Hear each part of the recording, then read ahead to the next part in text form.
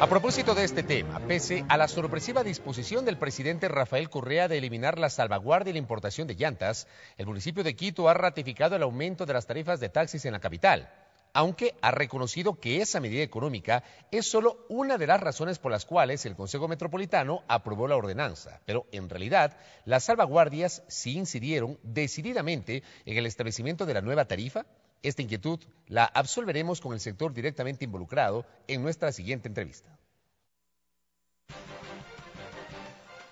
Fernando Valdés, presidente de la Asociación de Taxis Ejecutivos de Pichincha, presidente de la Liga Deportiva Parroquial de Cumbayá, presidente de la Unión Nacional de Taxis Ejecutivos del Ecuador.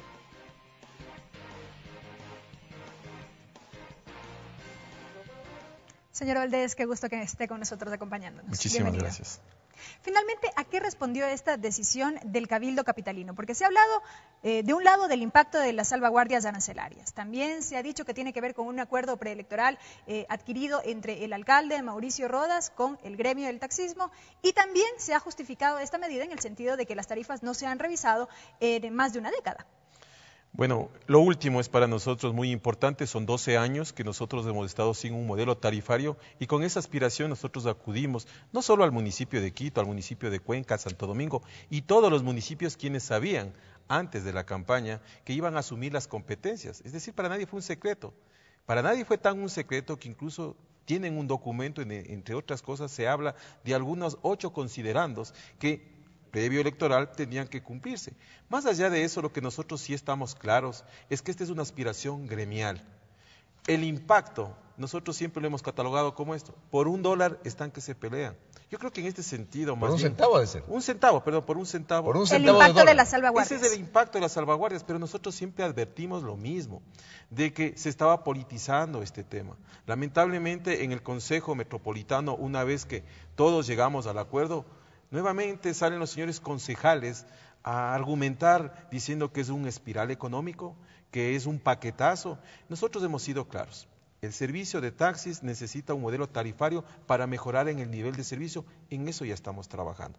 Queremos dejar en claro, como lo hicimos desde un inicio, que el impacto era de un centavo a los 44 centavos, que eso sí están justificados con el tema del uso de las llantas, la utilización de la gasolina especial y extra, pero sobre todo sobre lo que tiene que ver la cesta de repuestos, que en 12 años obviamente ha subido en un 300%. Es decir, la, el dólar de la carrera mínima y los 35 centavos de la arrancada ya eran insuficientes para sostener la vida del taxista. Por supuesto, es por eso que nosotros, no ahora, y eso también quería aclarar a la ciudadanía, no es que hoy porque está un nuevo representante en eh, el señor alcalde, nosotros hemos comenzado a pedir. Al contrario, venimos seis años pidiendo al señor Moncayo, al señor Barrera, y hoy le tocó al señor alcalde Rodas. Pero sí queremos dejar en claro que nosotros jamás sostuvimos de que las salvaguardias afectaban. Las llantas incluso, no es las tasas como dicen del 50%, es del 65% de los compañeros taxistas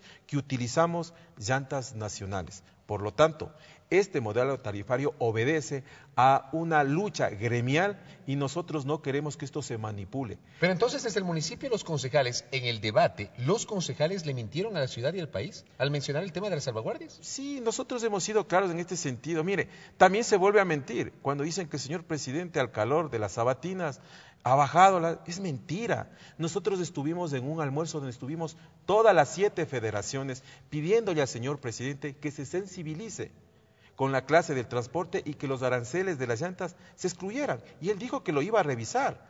Por eso tenemos del 23 unos talleres y ya salen alguien por ahí a decir que no, que, que es con ganas de, buscar un conflicto. Sí queremos dejar Pero el presidente hizo el anuncio en una sabatina. Así es. Tomó una decisión técnica y luego el anuncio como que sonó un poco una respuesta de carácter político más que técnico. También lo que vine antes es que sí hubo la propuesta de parte de la transportación pidiéndole al señor presidente. Es decir, ustedes ya se habían anticipado y le pidieron al presidente que revise el tema de los aranceles para las llantas. Por supuesto, eso fue en el almuerzo que sostuvimos con el señor presidente. Pero este elemento no ha sido público, pues, don Fernando. Lamentablemente, vuelvo e insisto, en estas mesas de trabajo que el Servicio Ejecutivo se integró al último, ¿sí? hay algunas eh, versiones que se contradicen este, eh, al tema de las tarifas.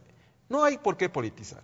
Si en este momento ya tenemos una que lo acaban de firmar, a partir de mañana nosotros comenzamos ya los taxímetros a calibrar. Hoy nos reunimos con las eh, quienes proveen estos servicios para hacer un cronograma. Pero finalmente yo creo que aquí lo que tenemos que preocuparnos ya, dejar de estar queriendo confundir al taxista y al ciudadano y más bien dedicarnos a niveles de servicio que creo que eso la ciudadanía reclama. Pero evidentemente ha habido politización y según lo que usted manifiesta, no solo de parte de las autoridades del municipio, sino también desde el gobierno central a través del presidente. No, el señor presidente más bien ha sido sensible. Es la segunda ocasión que nos reunimos con el señor presidente.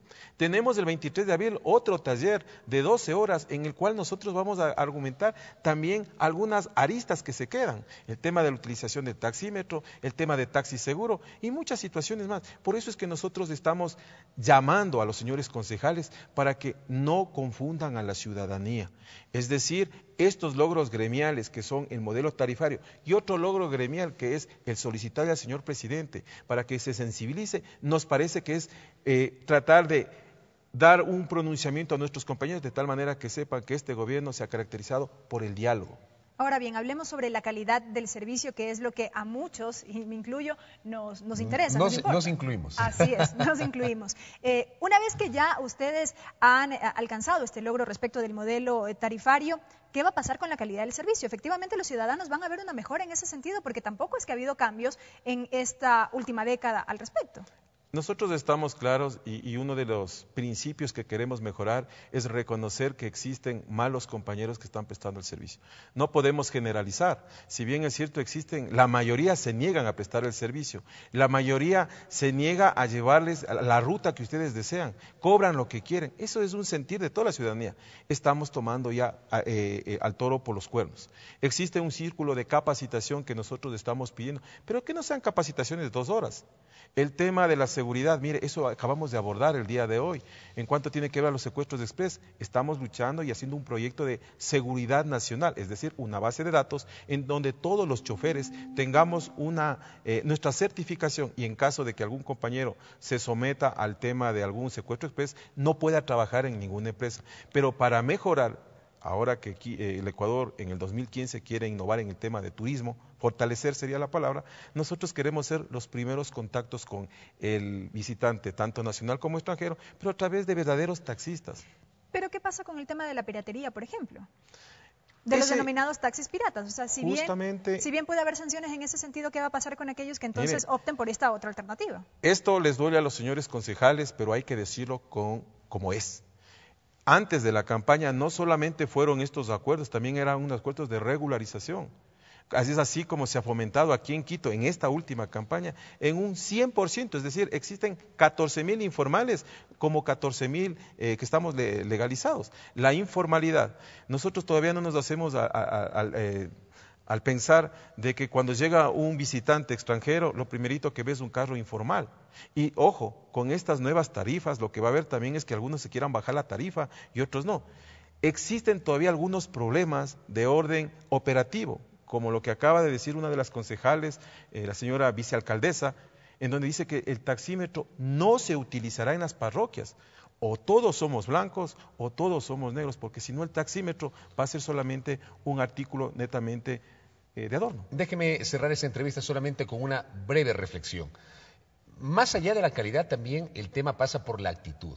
¿Cuál es el compromiso de los señores taxistas cuando, por ejemplo, se niegan a prender el taxímetro en las noches y en las madrugadas? Mire usted que hay la fijación de una tarifa nocturna. Así es. a, mí me, a mí me salta, y yo creo que hablamos un poquito desde la experiencia, yo tengo muy pocas experiencias en lo personal de señores taxistas que prenden el taxímetro en las noches. Después de las 8 y 9 de la noche jamás le prenden el taxímetro y prefieren regatear con el cliente. Dos, la actitud del taxista para llevar al pasajero al sitio donde quiere llegar. Porque muchas veces dicen, no, yo no voy al sur, no, yo no voy al norte, ah, mucho tráfico, no, no le puedo servir, etcétera, etcétera, etcétera. ¿Qué hacer con la actitud del taxista? Bueno, ese es un elemento adicional. Nosotros tenemos una campaña de ciudadanizar al taxista que sepa el taxista también que en algún momento nuestros hijos, nuestras esposas también hacen, eh, eh, eh, utilizan este servicio. En este sentido nosotros estamos pidiendo de que las capacitaciones sean permanentes. ¿Cómo mejorar? Tenemos una cámara de control que sirve para detectar los asaltos. Ampliemos un poquito el espectro y el audio de tal manera que ese compañero que se niega a prestar el servicio sea sancionado, pero que no quede solamente en la denuncia, Fabricio, porque después de que usted denuncia, después victimizan a la persona denunciante. ¿Por qué? Porque es un largo proceso para poder llegar a una sanción. Tiene que ser más ágil y más expedita, no solo en Quito, sino a nivel nacional, el control y la fiscalización, el compromiso del transportista, pero también el compromiso de la ciudadanía, que utilice un servicio que es legalizado y que ahí hay un esfuerzo, porque no nos pueden a nosotros meter en el mismo saco cuando vemos vehículos pintados de amarillo, vehículos informales, carros 4x4 y 4x2, y finalmente el ciudadano se siente que eh, en este momento perjudicado cuando nos elevan las tarifas sin que eleven el nivel de servicio. Ese sí no es nuestro compromiso y hacia ello estamos apuntando. Como dijimos, hemos dejado claro que el servicio de taxis estará con este modelo tarifario y no queremos que esto se vaya a satanizar ni politizar. Don Fernando, gracias por el a tiempo. ustedes. Muy muchísimas gentil. gracias. Fernando Valdés, quien es presidente de la Unión de Taxistas eh, Ejecutivos del Ecuador, con una mirada respecto del aumento resuelto la semana anterior por el Consejo Metropolitano y obviamente la visión de los taxistas respecto de este tema. Una pausa. TDL Noticias llega a sus hogares por la señal de la televisión legislativa a través de sus canales 42 en Quito, 22 en Guayaquil y 27 en la ciudad de Cuenca. También por internet en vivo.asambleanacional.gov.es.